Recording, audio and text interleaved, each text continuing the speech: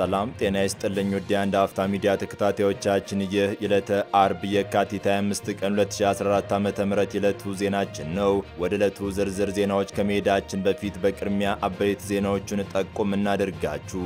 ኢትዮጵያ እያወጣች ባለው የነዳጅና የጋዝ ክምችት ላይ በአሜሪካ አደገኛ ዘመቻ ተጀምሯል። ጉዳዩ ከአሜሪካ እስከ ቻይናና ጅቡቲም የሚያነካካ ሆኗል። ይህንን በተመለከተ ዜናችን ዘርዘር አድርጎ የያዘው መረጃ ለተሰሙታላችሁ።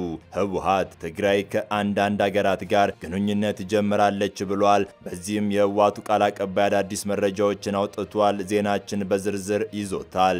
ኢዜማ የጠቅላይ ሚኒስትር አብይ አህመድ መንግስት ግልጽ የሆነ መዋቅራዊ ጠለፋ ደርሶበታል በማለት ሰፊ መግለጫን አውጥቷል። ከዚሁ ጋር በተያያዘን በርካታ የምናደርሳችሁ ሰፋ ያለ መረጃ አለ። በሩሲያ ዩክሬን ጦርነት ዙሪያም ፕሬዝደንት ቭላዲሚር ፑቲን ስለ ጦርነቱ የተናገሩት አዳዲስ መረጃዎችንም አካተናል። ቆይታችሁ ከእኛ ጋር ይሁን እያልን አሁን በቀጥታ ወደ ዝርዝር ዜናዎቹ እንሰዳችሁ።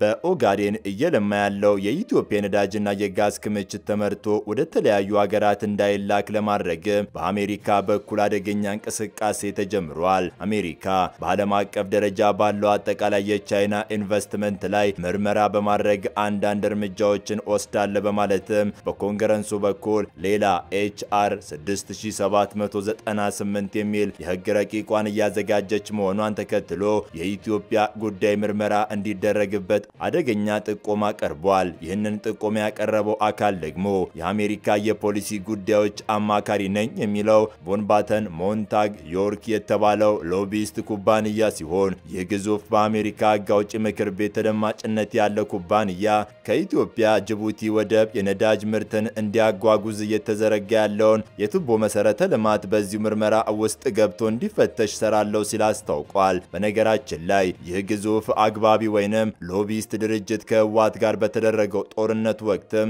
የኢትዮጵያ መንግስት በትግራይ ላይ ከፍተኛ የሆነ የሰብአዊ መብት ረገጣ አካሂዷል በሚል ኢትዮጵያን ከአግዋ እንድትወጣ ሰፊ የሆነ የማግባባት የማሳመን ስራን ሲሰራ የነበረ ኩባንያ ነው። ኩባንያው የኢትዮጵያን እያንዳንዱን የልማት እንቅስቃሴ እየተከታተለ የሚያከሽፍ ሲሆን በአሁኑ ሰዓት ደግሞ ኢትዮጵያ በኦጋዴን ነዳጅና ጋዝን አልምታ በጅቡቲ በኩል ወደ ተለያዩ ሀገራት ለመላክ እያደረገች ባለው እንቅስቃሴ ላይ ሰፊ የሆነ ትኩረትን ጥሎ ይገኛል። ግዙፉ የኦጋዴን ነዳጅና ጋዝ ማስተላለፊያ ቱቦ ከኦጋዴን የነዳጅ ማውጫ ጉድጓዶች እስከ ጅቡቲው ዶራላ ወደብ የሚዘረጋ መሆኑን ያመላከተው ይኸው ኩባንያ ቻይና በዚህ ቦታ የ military base ያላት መሆኑን በመጥቀስም ይህ ፕሮጀክት አሜሪካ መረምረዋለሁ ብላ በያዘችው የቻይናው የውጭ ኢንቨስትመንት ውስጥ ተካቶ እንዲመረመር ጥብቅ ማሳሰቢያውን ሰጥቷል። በቻይና የእድገት እንቅስቃሴ በከፍተኛ ደረጃ እየተበለጠች ያለችው አሜሪካ እንደሚታወቀው ቀደም ሲል በቀድሞ ፕሬዝደንቷ ዶናልድ ትራምፕ አማካኝነት ከቻይና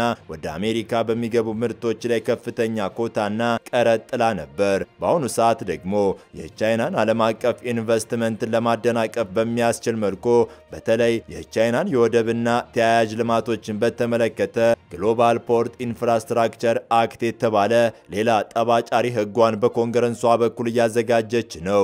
አንዳንዶች አሜሪካ ልክ እንደ ሩሲያ ቻይናን ጎትጉታ ወደ ጦርነት ለማስገባት የቻለችውን ሁሉ እያደረገች ነው እያሉ ነው። ከሰሞኑም ቻይና ከሩሲያ ጋር በተያያዘ አሜሪካ መራሹ የምዕራቡ ዓለም ሩሲያ ላይ የማዕቀብ ውርጅብኝ ሲያወርድ በቀጣይ ቻይና የሩሲያ ጠንካራ የንግድ አጋር ትሆናለች በሚል ስጋት ከፍተኛ ክትትልን በማድረግ ላይ ናቸው። ከተለያዩ ሀገራት ጋር ግንኙነት ማድረግ ጀምረናል ሲል የህወሓቱ ቃል አቀባይ ጌታቸው ረዳ አስታወቀ።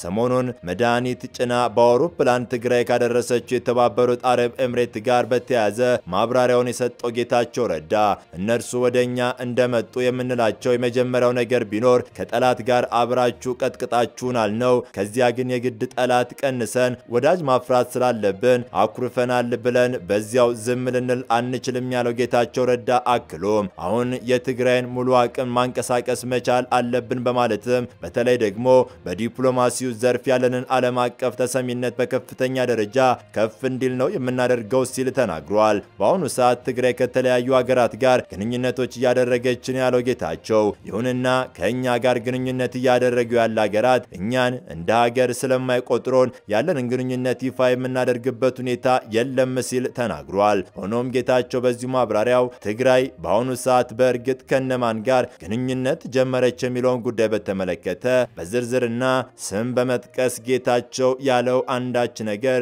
የለም። የኢትዮጵያ ዜጎች ለማህበራዊ ፍትህ ኢዜማ የሀገሪቱን ወቅታዊ ጉዳዮች አስመልክቶ ባወጣው መግለጫው የጠቅላይ ሚኒስትር አብይ አህመድ መንግስታዊ መዋቅር የተጠለፈ መሆኑን አመላከተ።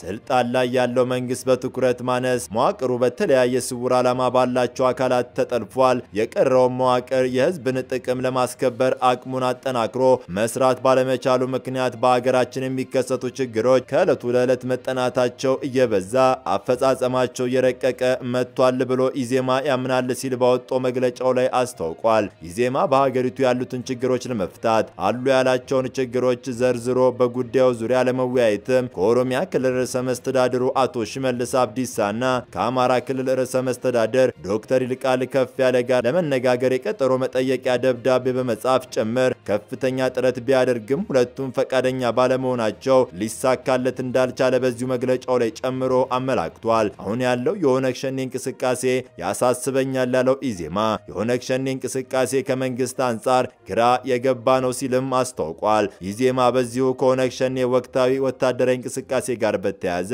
በሰጠው ማብራሪያ ላይ በ2014 ዓ.ም በመንግስት ጥሪ የገናን በዓል ለማክበር በሚል ሰበብ ወደ አገር ቤት ከኖርዌይ እና ከአሜሪካ የመጡ ጥቂት ዲያስፖራዎች የኦነግ ሸኔን ታጣቂዎችን ምስራቅ ወለጋ ድረስ ሄደው መጎብኘታቸውና ቁሳቁሶችን ማድረሳቸው ይታወሳል።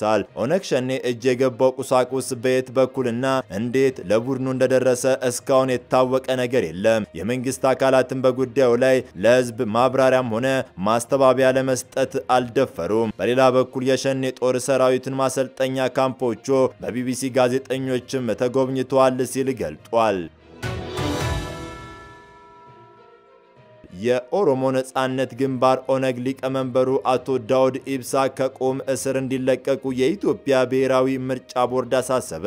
ምርጫ ቦርዱ ባወጣው መግለጫው እንደገለጸው ከፖለቲካ ፓርቲዎች ጋር ባደረገው የምክክር መድረክ ላይ በደረሰው ጥቆማ መሰረት የማጣራት ስራዎች ሲሰራ መቆየቱን ገልጿል።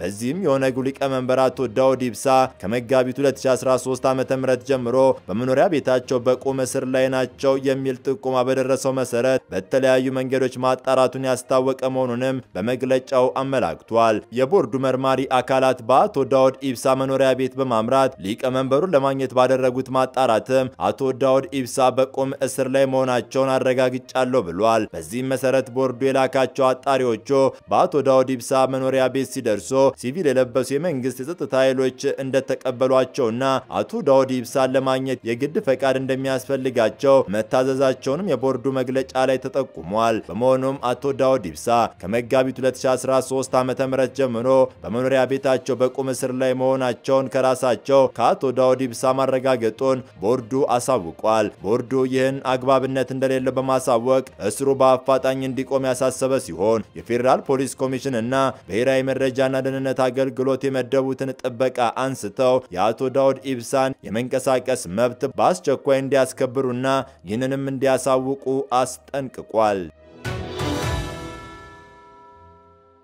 ወደ ሩሲያው መረጃችን እንለፍ። ሩሲያና ሩሲያውያንን አጥፍታ የምትኖር ዓለም ምንም አትሰራም። እኔ እዚህ ቦታ የተቀመጥኩት የሩሲያና የሩሲያንን ሕዝብ ብሔራዊ ጥቅም ለማስጠበቅ ነው ያሉት ፕሬዝደንት ቭላድሚር ፑቲን ይህችን ዓለም ጸረ ሩሲያ አቋም ያላቸው ስብስቦች እንዲገዟት አልፈቅድም ሲሉ ተናገሩ።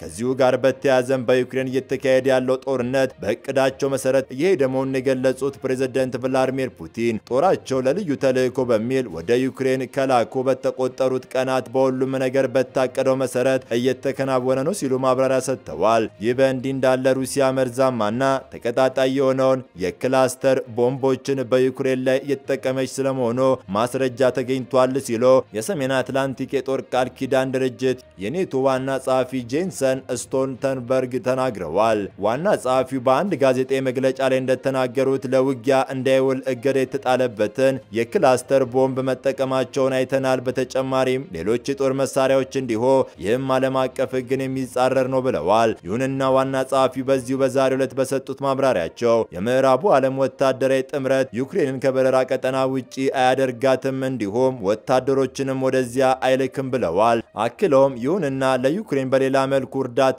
እንደሚሰጡና ፕሬዝደንት ቭላድሚር ፑቲን ወረራውን በአስቸኳይ እንዲያቆሙም አሳስበዋል። አንድ አፍታዎች ነን። የዕለት ዜናዎች ተጠናቋል። በያላችሁበት መልካም መልካሙን ተመኘን። ሰላም